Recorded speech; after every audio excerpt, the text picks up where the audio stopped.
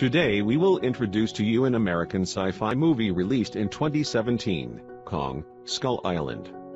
Here we go. The film started at the time of World War II in 1944 with a clash between two pilots, one American and one Japanese. When their plane crashed, they parachuted onto a deserted island somewhere in the South Pacific. They then chased through the stream, through the forest, and finally ran to the edge of the cliff. They were fighting fiercely when the fight was interrupted by a loud bang.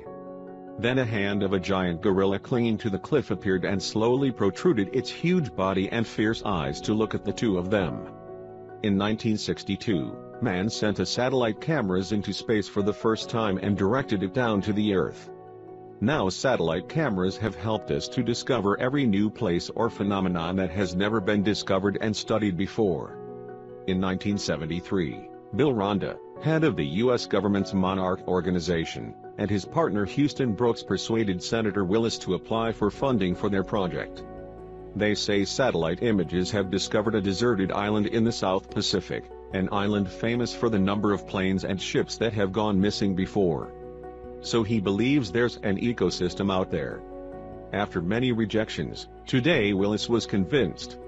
Randa has begun planning to explore strange things in a place called Skull Island with the support of an army escort sent by Senator Willis.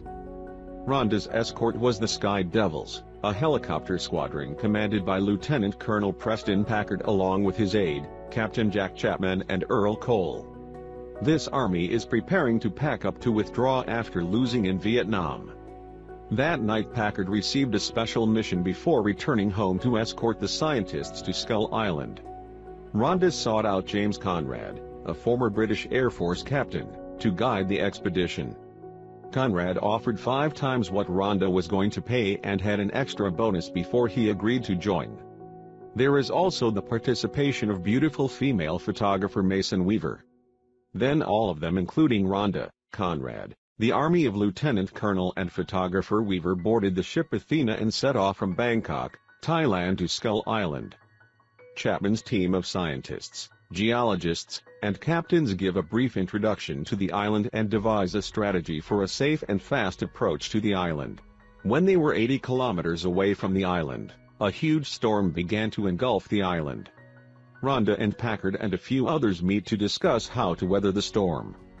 The lieutenant colonel suggested using the plane to fly over the storm because now the warship can't go any further they prepared and loaded them onto the helicopter, including furniture, machinery, and weapons needed in the near future. Everyone is ready. The helicopter started to take off and headed straight for the storm. They weathered the storm and thankfully none of the helicopters were damaged and the crew finally made it inside the island. People are amazed because unlike the scary appearance, the inside of the island is peaceful. The scenery is extremely beautiful and majestic. They landed when they found a suitable vacant lot. They installed machinery to prepare geological surveys. Packard's army took to the skies and dropped explosives to probe the island's composition. One of the helicopters was suddenly attacked by a tree that rushed in, causing it to explode and fall to the ground. Then a giant ape appeared and attacked all the other helicopters the helicopters formed a circle around the ape and fired consecutively at it, causing it to become angry and attack again. It grabbed each helicopter, smashed it and threw them away. Many helicopters were destroyed and many people died. It chased to where the geologists were watching the results of the geological survey. At this time, Mr. Packard and a few lucky teammates were still alive. He watched his comrades being killed with red eyes. He and the ferocious ape looked at each other in hatred. Now the remaining survivors are separated and divided into two groups. Captain Chapman is left alone. After seeing his comrades gone, Packard immediately questioned Randa. Randa now tells what he knows about this island. The real purpose of the expedition is to have evidence of the existence of forgotten monsters, not geological exploration. Packard and the rest of his men buried their dead comrades and began searching for missing members, including Chapman. Passing through the bamboo forest, a soldier stopped to drink water. When he returned, he was stabbed by a bamboo tree and died shortly after. When looking up, it's not a bamboo but a mutant spider. It started spitting out silk and grabbed another soldier up high, the rest shot at it, another one slashed its leg with a knife. Finally the spider was killed. Packard used a gun to shoot the spider until it was completely dead. At this point, Conrad, Weaver, Brooks, and the survivors continued north to the retreat. On the way, they encountered a giant buffalo in the water. Conrad stopped the soldier from shooting the buffalo so it didn't attack but looked at them and then turned away. As they continued to go, they saw that there were human remains here. Weaver raised the camera to take a picture and discovered a tribe was hiding and intending to attack them. Suddenly someone intervened. This is a former soldier missing from World War II. His name is Hank Marlow. He was stranded on this island 28 years ago, he was here and living with the indigenous people. He took them home because they couldn't be here after dark. Talking about Chapman, he was wading into the stream to get water to drink. Suddenly the great ape appeared, it sat down to get water to drink. But when it just put its hand in the water, it was wrapped by a large octopus with giant tentacles. The ape ripped off the tentacle of the octopus, the octopus died, the ape immediately left with the octopus carcass. Chapman watched the whole thing in horror. The group of Conrad arrived at the Aboriginal tribe. Mr. Marlow said that the natives were here tens of thousands of years ago, but they are still regularly threatened by skull lizards. He told them about the giant ape, named Kong, who was the protector of the island and was worshipped by the locals as a god. Kong protects them from predators, especially skull lizards. Subterranean creatures have killed Kong's ancestors, leaving only Kong as the last creature of the great apes. Conrad tells Marlow that there will be reinforcements coming to the north end and they will be there in three days. Marlow says that it is impossible to walk on foot. He led them out to the canoe he had made from the wreckage. They began to repair the canoe. Meanwhile, Weaver took advantage of beautiful pictures with the Aboriginal people.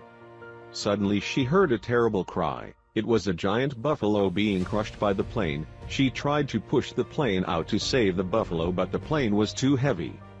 Suddenly Kong appeared, lifted the plane off the buffalo and left. Chapman is still trying to contact his teammates, but to no avail.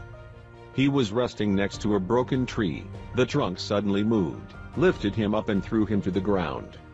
It's a giant grasshopper. He stepped back and immediately pulled out his gun and shot it repeatedly. It seemed to be scared and turned away. But he didn't know that it was afraid of the big lizard behind him. Chapman returned and was killed by it. Conrad's group was still busy repairing the canoe. The soldier and Conrad tried to fix it quickly and they succeeded. When the engine started to run, everyone was very happy. But when they looked up to the shore, they were shocked to see the regretful faces of the Aboriginal people. Marlow approached the bow and said goodbye and thanked them. The canoe began to move, going through the giant gate to the river. They were overjoyed and headed to the rendezvous point. While walking on the river, Marlow began telling stories of himself and his family. Suddenly, the Conrad soldier called Packard. Team Packard then fired flares into the sky. The Conrad team was overjoyed. They meet at one point so that the two teams can meet as quickly as possible. Suddenly, a skull lizard came flying from nowhere, swooping down to catch Nieves and pull him up into the sky. A truly horrifying scene. They left the boat to disembark and continue to search for the Packard team. Team Conrad arrived first, they met at a stream. Then Packard's team arrived. Mr. Marlow introduced and saluted in a military style to the lieutenant colonel they began to discuss the plan to go to where the rescue team was waiting. But Packard insisted on finding Chapman first. Marlow tried to intervene because Chapman was in the place of skull lizards. Unable to convince Packard, Marlow reluctantly led them through the Forbidden Land. This place is a mass grave of dinosaurs, ancestors of Kong and lizard monsters. When crossing the Forbidden Land, suddenly, a giant lizard appeared. People panicked and looked for cover. The lizard lunged forward and vomited a skull, with Chapman's name tag on it, and then it left. Everyone kept moving, Randa was the last to go. Unfortunately his camera broke, he stopped to fix it and was discovered and swallowed by the lizard. Marlow drew his sword and slashed across the lizard's body, but it was fine, and continued to chase after the army. It chased Weaver. The soldiers sprayed poisonous gas at the lizard, which was engulfed in flames. But there was still the strength to knock down the soldier and bump into the carnivorous lizards, sending them flying wildly, attacking everyone. Conrad then put on the mask and took Marlow's sword and plunged into the poisonous smoke to cut each incoming pterosaur in half. At that moment, the giant lizard escaped from the fire and rushed towards Conrad. Weaver threw the lighter into the poisonous gas in front of the lizard creating a huge explosion that killed it. Through this time, Lieutenant Colonel Packard still blamed Kong, Conrad said Chapman was dead and showed Chapman's name tag to him but Packard persisted in planning to kill Kong. Marlow and Brooks try to explain that killing Kong will lead to the lizard's rise, but Packard refuses to listen. The team splits up again, with Packard's group taking weapons from Chapman's helicopter and trapping Kong in a nearby lake, while Conrad and the rest return to the boat so they can meet the next group. Rescue Economy That night, Conrad and Weaver climb to the top of the mountain to take pictures. In the mist, Kong suddenly appeared in front of the two. She and Conrad were scared, but then Kong stood there doing nothing to them.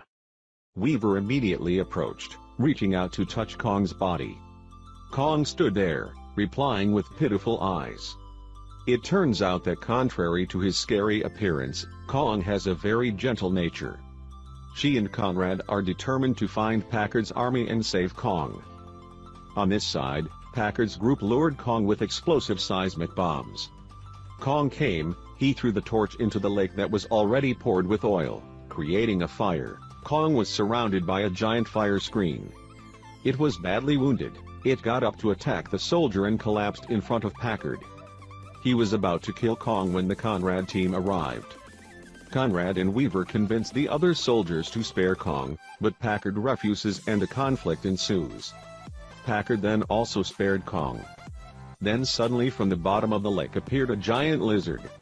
Everyone ran away and ran into the woods, leaving Packard. At this time, Kong woke up and looked at Packard with hatred, using his fist to kill Lieutenant Colonel Packard. Kong continued to fight with the giant lizard. Due to being injured, the lizard overpowered Kong. Everyone ran to the edge of the forest, to a large lake. One member decided to sacrifice himself to support his teammates. He stopped to distract it so everyone could escape. When it saw the soldier, it threw its tail at him, flung him up high and was smashed into the mountain and exploded. Kong returned in time to save them. At this time the lizard rushed to bite Kong's hand but Kong caught the lizard's jaws. Kong then grabbed a tree on the edge of the forest to use as a weapon. It grabbed the stick and slammed it straight at the lizard, causing the lizard to fall, but then stood up and used its tail to knock Kong over. Kong was shot in the place of old boats left by humans, chained around him. Conrad's army was bringing the canoe close to the lizard. Kong then used all his strength to pull off the chains and rush to save them. Meanwhile, Weaver managed to climb to the top of the mountain and shot the lizard in the head. Conrad's army shot at it with guns. Kong was able to rip the chains off his body, use it to hurl at the lizard, knocking it off, knocking its tail into the mountain where Weaver was standing, causing Weaver to fall into the water. Kong immediately put his hand into the water and picked Weaver up, but the lizard was able to stand up, fighting with Kong again. At this time, Kong grabbed the lizard by the neck, hooked his hand in the throat and pulled its tongue out. It cried out in agony and died in Kong's arms. In the end, Kong won. Only now did Kong let go of his hand, bringing Weaver safely to shore. Conrad rushed to hug Weaver, both of them looked up at Kong with grateful eyes. Kong seemed to respond to that thank you and then turned and walked away. The survivors made their way to the rendezvous point and left the island while Kong watched from afar, pounding his chest as if to say goodbye to them. Some time later, Marlow returns home, reunites with his wife and meets his son for the first time. The movie ends here.